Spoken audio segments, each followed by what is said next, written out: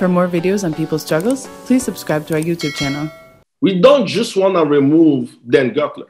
We want to remove the system that creates the Dan Gertlers, where a 24 year old can show up in the Congo, access the elites, uh, the bourgeoisie in the DRC, be able to get access to the land where people live, and the people who are the indigenous of the land do not benefit from it. But an Israeli businessman is able to get Mossad at his side, is able to get the US government at his side, and make all these dealings for decades. That's what we want to stop. Not just Gertler, but completely eradicate the uh, capitalist system, this vicious uh, capitalist system with no moral, dispossessing Congolese from their land and resources.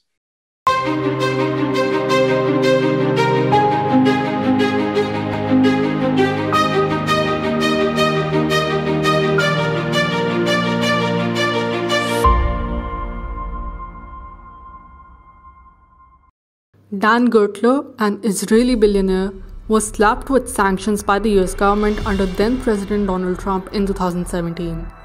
He stood accused of extensive public corruption in his business dealings in the Democratic Republic of Congo. Days before Trump's term in office was to end, the same administration granted him relief in the form of a license, which allowed him access to previously blocked accounts and to carry out financial transactions.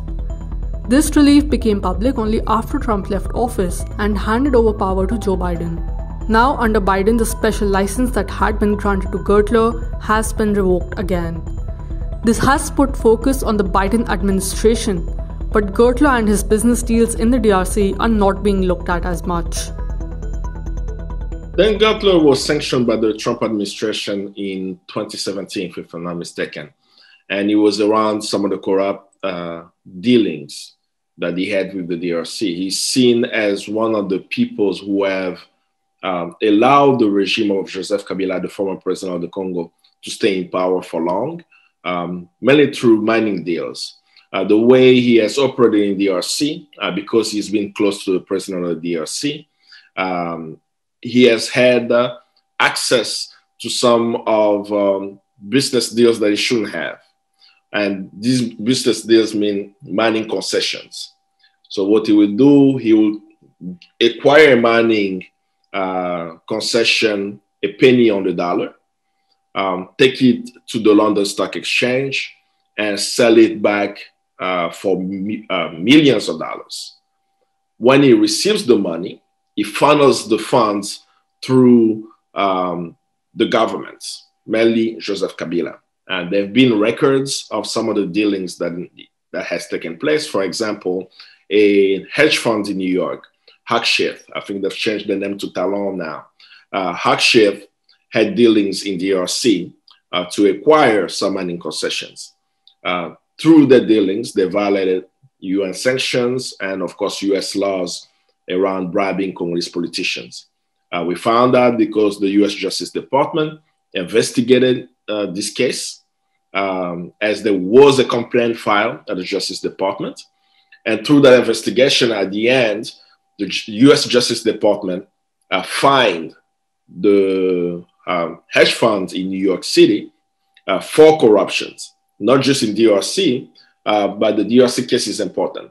And that document of the judgment is really important because as you read the judgment and you see, read the appendix, you can see text messages um, sent to um, officials, emails sent, um, messages from Dan Gertler to the mining operatives. And there is a famous table in there. Um, the Justice Department in the report doesn't mention Dan Gertler by name, uh, doesn't mention uh, Joseph Kabila, the president of the Congo, by name, uh, but they use some acronyms. Uh, they, they use some titles that allows us to know who they are discussing. So they talk about DRC uh, official one, DRC official two, and DRC partner one, uh, DRC partner. DRC official one, we know now that is Joseph Kabila. Uh, DRC official uh, two is Augustin Katumba Mwanke, who was a close advisor to Joseph Kabila. He died in 2012. And the DRC partner is Dan Gertler. This was um, confirmed through um, a, a, newspaper that they, they contacted the Justice Department and they were able to confirm that these officials were indeed um, the people that I just mentioned. But in that appendix, he actually had dates and amount of transfer, of funds transfer to the bank account, proving that Och-Ziff bribed politicians with the dealings that they had with Dan, Dan.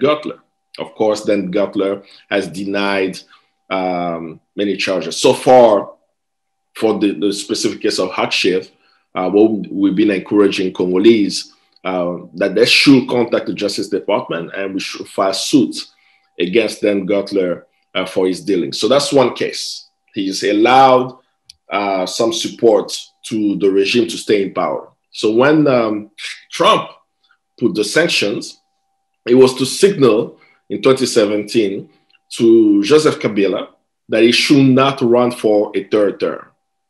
That was one of the biggest contentions of Congolese elections. Will Joseph Kabila, uh, Kabila stay in power?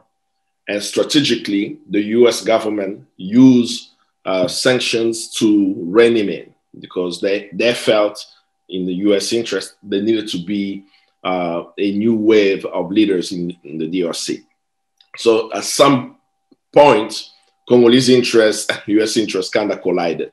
But mainly Iran interest, that's US interest. That wasn't necessarily, we wanted a free and fair uh, democratic elections. That's not also what took place. Um, but uh, we had the election in 2018. Uh, Felix Tshisekedi uh, was declared the winner of the election. Um, the election now, we all know, uh, was rigged.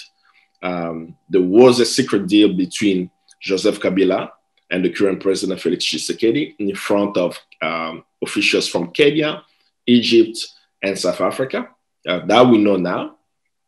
But after um, 2018, uh, there was not much traction. Uh, what we realized was that uh, Dan Gertler hired a lobby firm. Uh, he hired a lobbyist in Washington. Particularly, uh, was interesting. His lawyer uh, lobbying for him, lobbying in um, the U.S. administration, was the same lawyer that Donald Trump also used for his um, impeachment trial. So he was able, in some shape or form, uh, get the US to listen to his demand. So in the last days of Donald Trump, on January 15th, the Trump administration removed the sanction, which surprised everyone. What is going on? There is a Joe Biden has been declared the winner of the elections in the United States in, uh, in uh, 2020 before he's actually able to be sworn in on January 15th. The sanctions are removed and no one to be found about why this is unfolding. You can contact the Treasury uh, um, Department. No one is clearly explaining how did this happen. Uh, so there was an outcry uh, from civil society organizations and watchdogs uh, in the West and also in the DRC. And in March, uh, the Biden administration reinstated uh, the sanctions. Uh, but we, we need to be clear what this means because one will say there is a Trump versus Biden. Biden is the great president who supports democracy and has uh, in his cabinet, his agenda, that he will fight corruption. To me, be Trump or Biden, it's around US interests. We really have to decipher what actually unfolded. Dan Gertler clearly has friends in high places who were able to come rescue him when he faced sanctions in 2017. From officials in the US administration to the Israeli intelligence agency Mossad, Gertler was able to rally powerful allies to speak on his behalf. All of this begs the question who is Gertler and what is his history in the DRC? Beyond his lawyer, who was a, a lobbyist, beyond Dan Gertler's lawyers, you also had Mossad directors pressuring the US government. And that's what worried me. You know, whenever I'm reading in the New York Times that the um, Mossad officials are contacting the US administration, stating that is actually an asset to US and Israeli interest in Central Africa and Africa as a whole. And I'm wondering who is this Israeli citizen who can have Mossad speak on their behalf? Mossad is an intelligence service. Why then Dan Gertler so essential to intelligence uh, agencies, um, particularly the one in the United States and um, the one in Israel? So that, that was one thing that took me back. The second one is the history of Dan Gertler. The New York Times expose showed us that this Israeli citizen, a former Israeli Defense Force soldier, was the Congolese ambassador at large, a Congolese diplomat. He was sent by Joseph Kabila as a, an ambassador of the DRC to the White House, like a special envoy to the White House, to discuss Congolese issues, opening up US administration to the interest of um, the DRC, particularly of Joseph Kabila. He was successful at that. He was able to get a response from Condoleezza Rice. And then uh, Joseph Kabila came to Washington, D.C., was able to meet with George Bush as well. Uh, there is a famous video of George Bush and um, Joseph Kabila, where George Bush is being uh, is praising uh, Joseph Kabila for elections. That you know how he was able to organize free fair elections in, 20, uh, in 2006. But when people see that in the media, they don't understand the work that goes in the background. So that's something also to, to think about. But his history now in the Congo. Dan Gertler came in the DRC in 1997 at the age of 24 just you know, as he finishes a three-year um, military service in the Israeli Defense Force.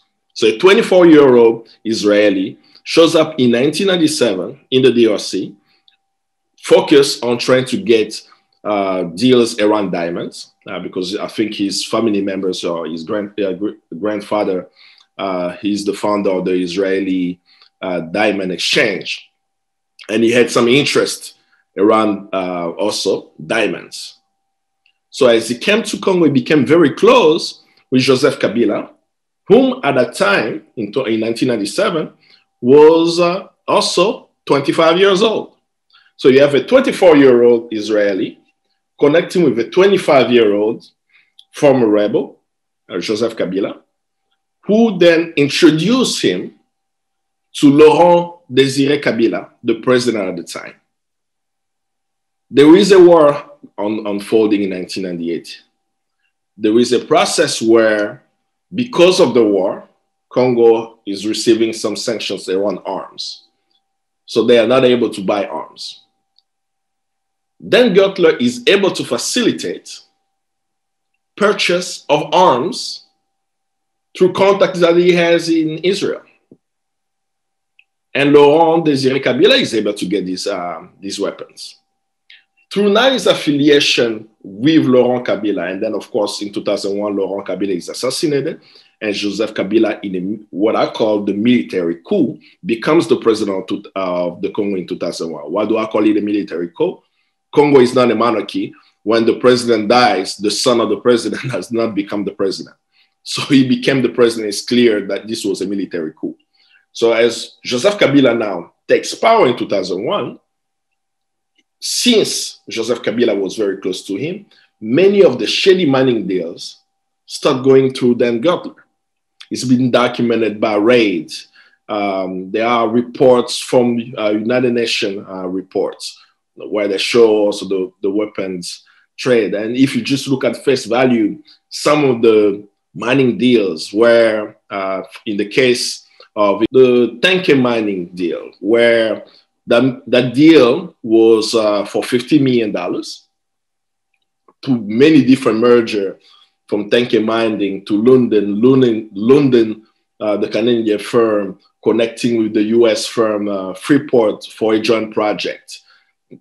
Then at the time, got access to the larger copper reserve, a copper reserve in the world, the Tenke Fungurume mine. And this mine you know, acquired at $50 million was sold uh, to Chinese uh, mining companies uh, recently in terms of billions of dollars from $15 million. So you see that this practice has gone on and on about getting uh, mining co- companies a penny on the dollar and reselling it. But then when you get the proceeds of the resale, funnel it to corrupt government officials who are able to commit mass human rights violation in DRC and so on. But what does that tell us? Dan Gertler has been operating for over two decades. The information about Dan Gertler dealings in DRC is not new. It's been known since the early 2000s. He was never stopped for his dealings. There will be reports after reports. There is a concerted effort to stop him now. It is a path uh, in the right direction. I support that he should be held accountable. But the question that everyone has to ask themselves is when Dan Gertler goes away, who's the new Dan Gertler? Because also Dan Gertler didn't operate by himself, right? The, Benny Steinmetz, who was being already tried and found guilty for co- corrupt deals in uh, other African countries, was operating with him in the DRC. In the DRC today, Dan Gertler is still operating. Just lately, that uh, there was a leaked information by Congolese whistleblower about Afriland, a bank in DRC, where after sanctions, he was uh, Dan Gertler was still able to use a bank to be able to move money.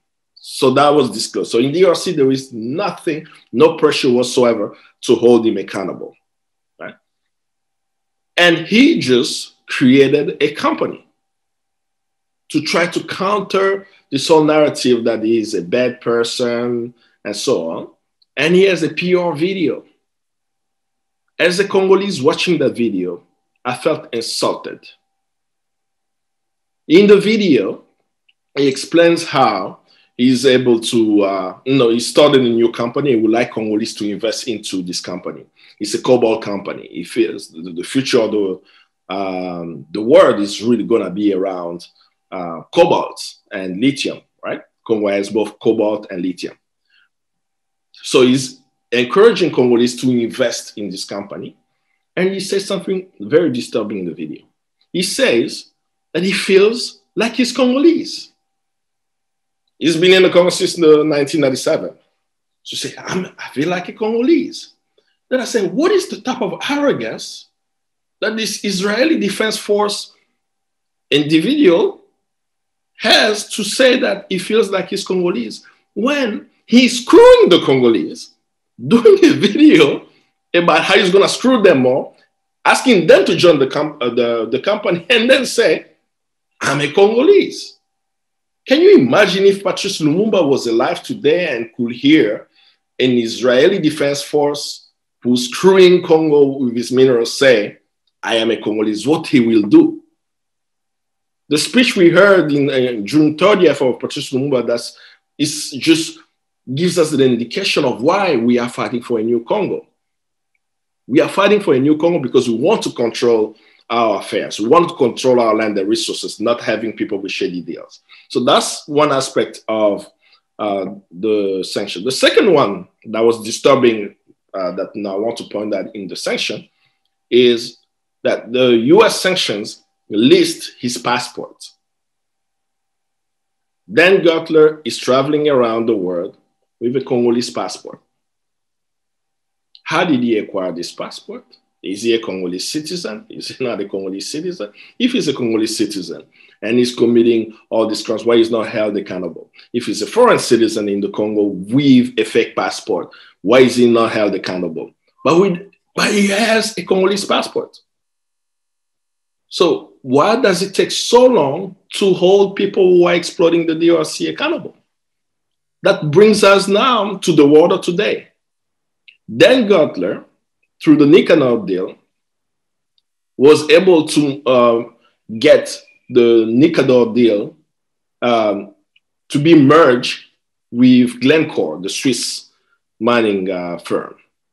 Right? Glencore, run by the South African Glasenberg, very close to Ramaphosa in South Africa, um, has a huge stake in DRC for cobalt. Cobalt is essential to the functioning of modern technology, particularly electric vehicles. Glencore today has a deal with Tesla. So Tesla sources its cobalt from Glencore. So what is the problem with that? The company is supposed to make royalty payments to Dan Gertler. And they were able to pay him 2.5% of royalties from that deal, right? They have the cobalt, they're exploiting it, getting it to the market and selling it to the clients, one of them, Tesla. There was pressure on Glencore to not pay Dan Gertler because he was under sanctions, but they still did.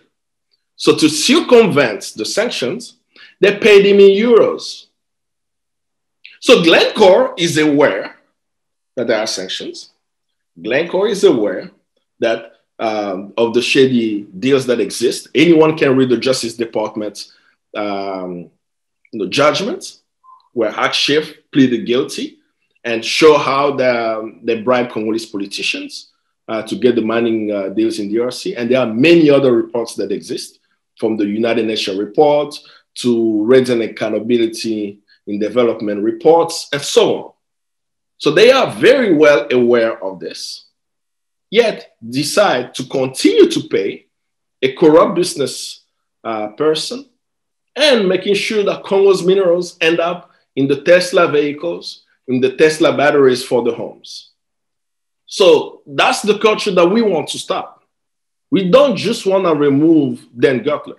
We want to remove the system that creates the Dan Gertlers, where a 24 year old can show up in the Congo, access the elites, uh, the bourgeoisie in the DRC, be able to get access to the land where people live and the people who are the indigenous of the land do not benefit from it. But an Israeli businessman is able to get Mossad at his side, is able to get the US government at his side and make all these dealings for decades. That's what we want to stop. Not just Gertler, but completely eradicate the uh, capitalist system, this vicious uh, capitalist system with no moral, dispossessing Congolese from their land and resources. And as I always say, I know we'll be victorious. I know that we have to continue to educate the people around what's happening in the DRC so that people know what is happening and know that we Congolese are not remaining silent when this is happening.